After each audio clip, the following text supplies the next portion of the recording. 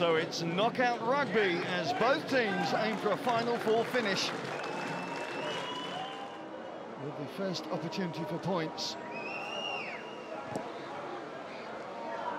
That is a cracking start from the Australian number nine, just what they needed.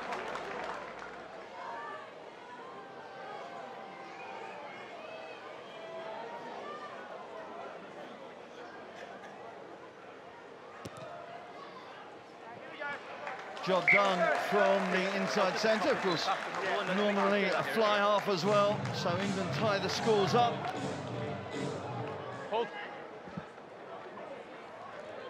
There's Parisi again, coming in on the crash ball. Opportunities coming now for Australia. The offload is there, the first try is there. It's Sione Tuipulotu, a well, well-worked try from Australia.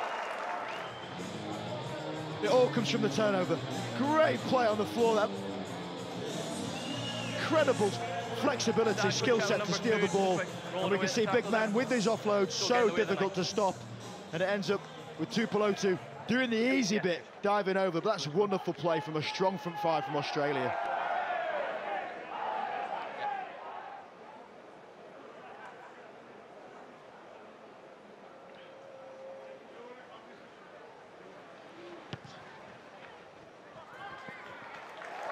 He's on target tonight, three from three for Harrison Goddard.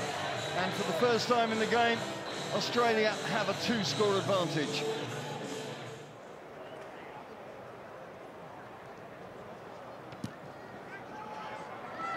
Four from four for Australia's number nine.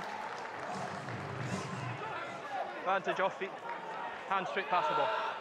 Mercer out to Lamb. Lamb looking for support. Randall's there to Caulfield. Ibitoye. Oh, Ibitoye thinks he's finished. His second finish against Wales was one of the most outstanding finishes from a winger. Has he replicated it now against Australia? He's in the air, that's the important thing. It's just if his feet hit the ground before. I think his knee just hit the turf.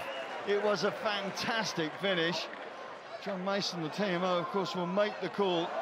Oh, I would give him that. I'd give him that just for the fact that is outstanding. One hand changes the ball, dots it down with his right, milliseconds before his knees hit the turf. Mike, they have a decision. Go ahead, John. You may award the try. Thank you.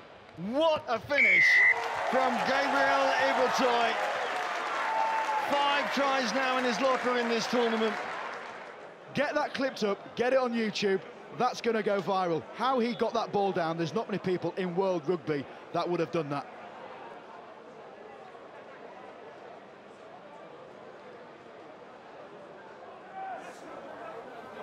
Joe Mullis is up to the job, he's up to the task. Mercer the man to set the focal point. One's going backwards, nine. As the power surge comes on from the England pack, Ibitoye in there as well. The second try is in the bag for England. And into the final half hour of this match, have we seen a swing?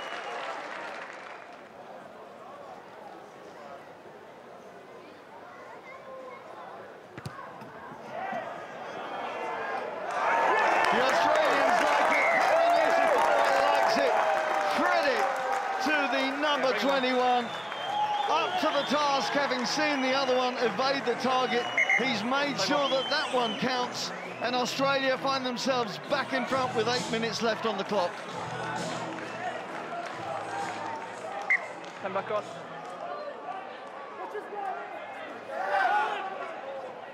Setting the focus for the next phase. John, look at that Another place. big hit. Legs flying everywhere. Bayliss. Caulfield again. There could be consternation about that tackle, I think. This call is going to stop play, but I think the officials are going to confer. John, check potential foul play. That would appear to be above the horizontal. Just confirm the number that I've got listed, please. Well, here is the sentence handed out by referee Mike Uh, Adamson. get the mark, John, please.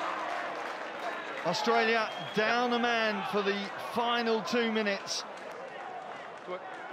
Has Max Malins got what it takes to put England in front in this game?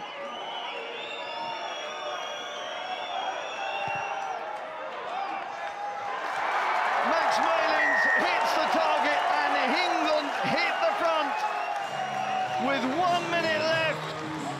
Dino! Oh! Malice got to be squeaky clean. Wide, no hands! No, Stewart stepping up. Tuipulotu resets his set now, but man. Zach. Mercer with the turnover. Mercer has the captain saved England. The ball is there for Mitchell. The head, the ball heads for Tbilisi down centre, and England celebrate a quite dramatic victory.